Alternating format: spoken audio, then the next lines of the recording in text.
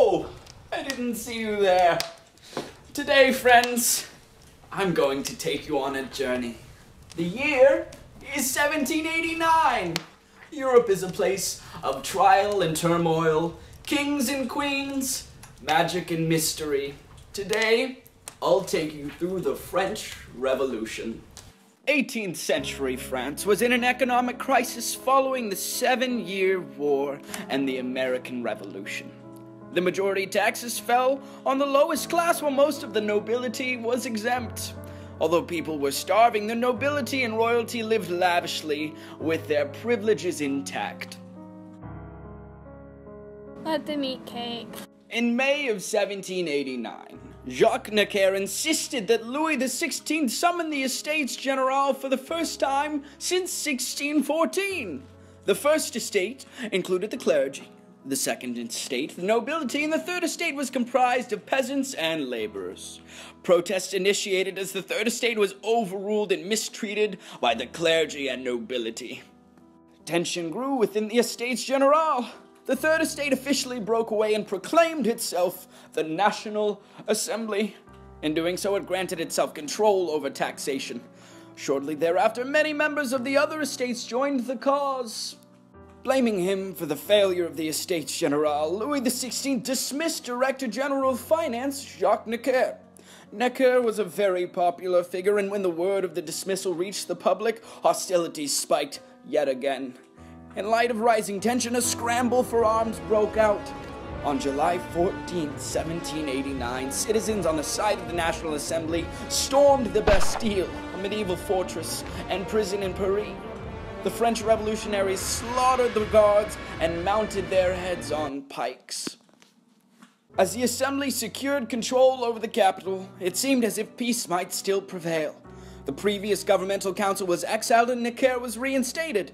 To bolster the defense of the assembly, the Marquis de Lafayette, a noble, assembled a collection of citizens into the French National Guard.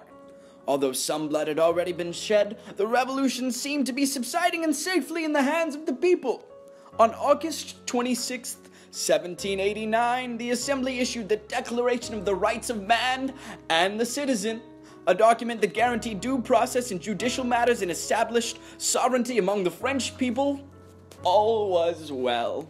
In late June 1791, Louis XVI and his late family attempted to escape to the Austrian border, where they were supposed to meet the Austrian army and arrange an attack on the revolutionaries.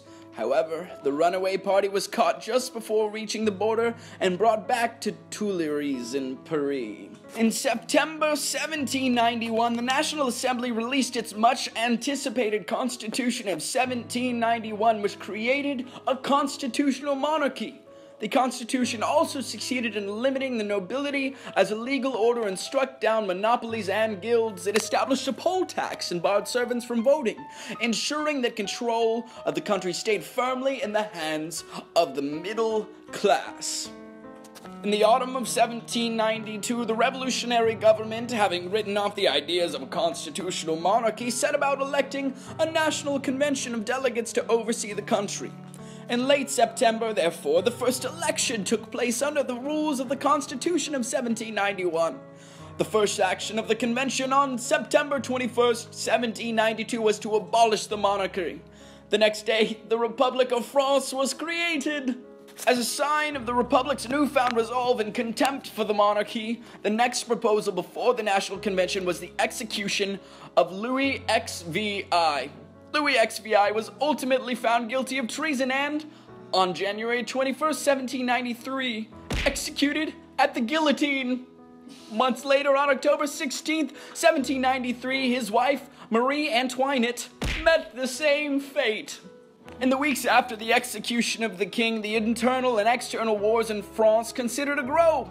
Prussian and Austrian forces pushed into the French countryside. Maximilien Robespierre, a French lawyer, politician, and heartthrob, harnessed the fury of the peasants to take control of the convention. In the autumn of 1793, the government instituted its infamous campaign against internal opposition known as the Reign of Terror. Beginning in September, Robespierre, under the auspices of the Committee of Public Safety, began pointing an accusing finger at anyone whose beliefs seemed to be counter revolutionary. A rash of executions ensued in Paris and soon spread to smaller towns and rural areas. During the nine month period that followed, anywhere from 15,000 to 50,000 French citizens were beheaded at the guillotine. Oh, Robespierre! As the mortuary started to fill up, the commoners shifted their focus from equality to peace. Robespierre no longer had a justification for his extreme actions in the name of public safety. On July 27, 1794, a group of Jacobin allies arrested Robespierre. Receiving the same treatment that he had mandated for his enemies, he lost his head at the Guillotine this following day.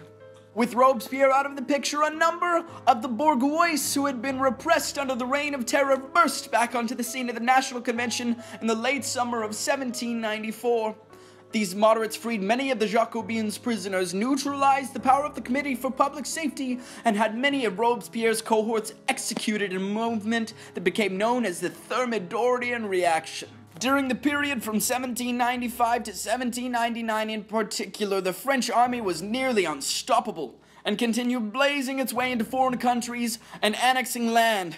Napoleon Bonaparte a young military leader in charge of French forces in Italy and then Egypt, won considerable fame for himself with a series of brilliant victories and also amassed incredible support as he tore through Europe. A large, victorious French army lowered unemployment with France and guaranteed soldiers a steady paycheck to buy the goods they needed to survive. The Directory hoped this increase in income would encourage an increase in demand, stimulating the French economy. As the government's credibility took a turn for the worse, so too did French military fortunes. Large majorities of the French public began calling for home at peace and.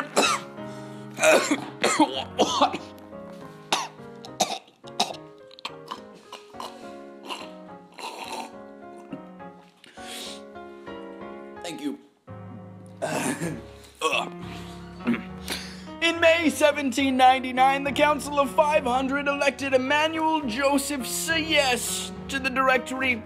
Sieyès, however, did not want to keep his newfound power for himself and he enlisted the aid of Napoleon with whom he began to plan a military coup to topple the very same director on which Sieyès himself served.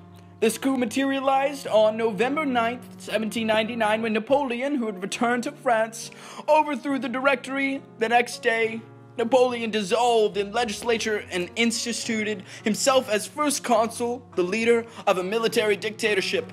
By imposing this state of military rule that would grip France for 15 years, Napoleon effectively ended the French Revolution.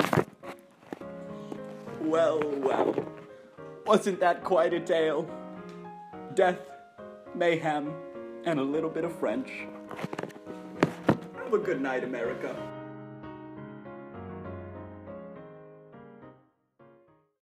Closer. Okay. Two, one.